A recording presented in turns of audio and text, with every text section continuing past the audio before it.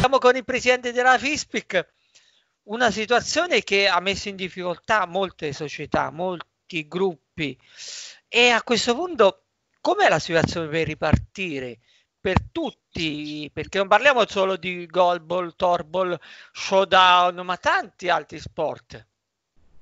Ma sicuramente sta, è stata e è una situazione un po' critica, delicata, è una situazione, un'emergenza che purtroppo ha colpito anche lo sport e lo sport paralimpico. E, ehm, sicuramente molte società, molti atleti soprattutto hanno veramente pagato questo scotto di questa emergenza del coronavirus e sicur- noi, noi, siamo, noi siamo stati attenti ad eh, cercare di rispettare sia le regole imposte perché è ovvio che si pensa prima alla salute e poi deve venire lo sport e, però anche dobbiamo dire che mh, abbiamo cercato di, di, di, di, stare, di stare vicino alle società e di stare vicino agli atleti cercando di, spronarli a fare attività eh, fisica a casa e adesso stiamo cercando di ripartire però la situazione, eh, visto che le Paralimpiadi eh, sono state posticipate non di un anno, mi pare che siano due anni alla fine. Un anno e mezzo. E praticamente un anno e mezzo è stato posticipato ad agosto 2021. Quindi, però, eh, alcune società hanno difficoltà, ti hanno segnalato difficoltà economiche perché eh, gli sponsor eh, e chi? I sostenitori. Parliamo sponsor, ma sostenitori di, eh, si trovano anche loro in grave difficoltà.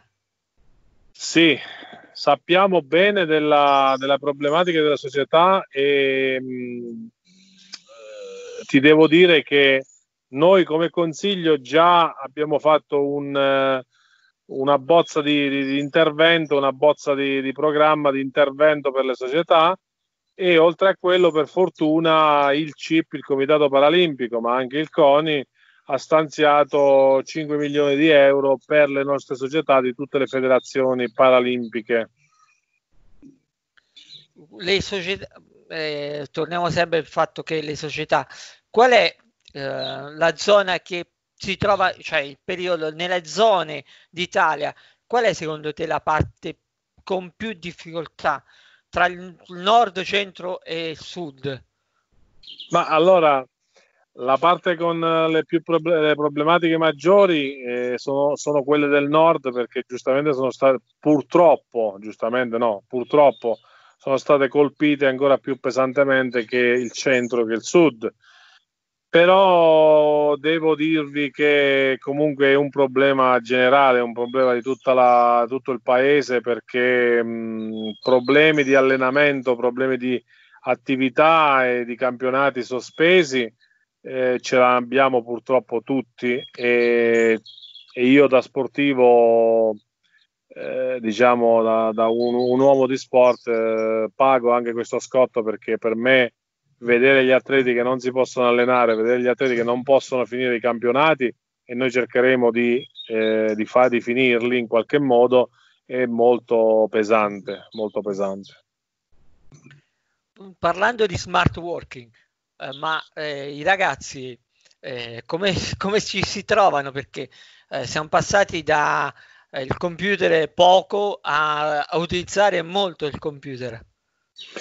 Sì, eh, molti ragazzi, molti dipendenti, insomma, insomma, chi ha potuto, chi il, l'ente o chi il privato l'ha concesso, eh, stanno in smart working col lavoro.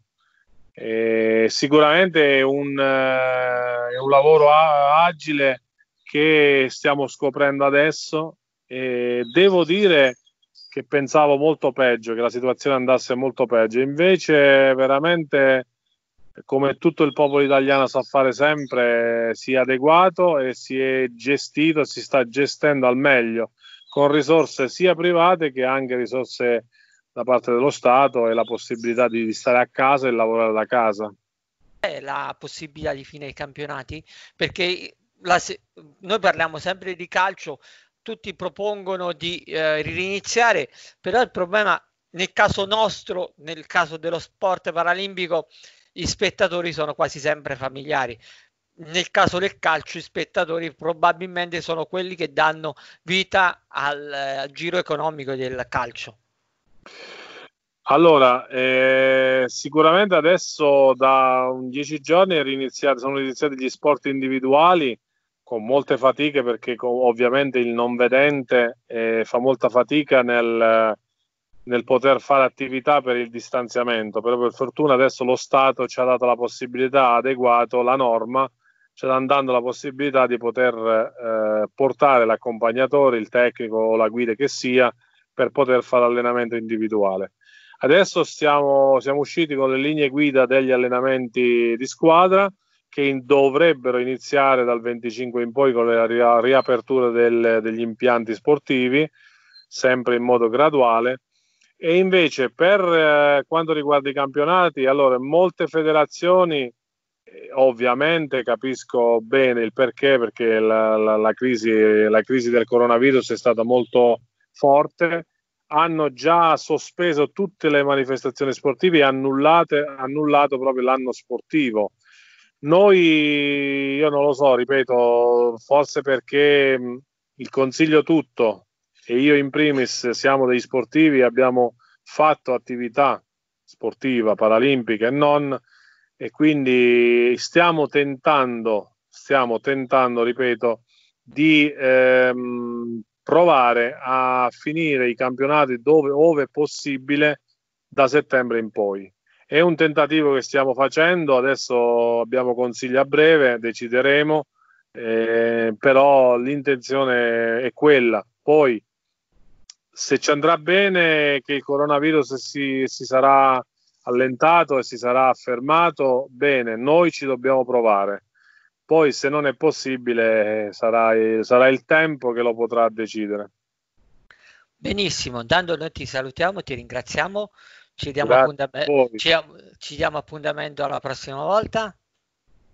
Grazie a voi, vi, vi ringrazio sempre della vostra attenzione e soprattutto della vicinanza perché in questo momento è, è bello trasmettere, è bello divulgare, eh, diciamo, questi, questo pensiero di poter tornare alla normalità o almeno ci si prova e soprattutto riniziare a fare sport perché eh, per noi è vita.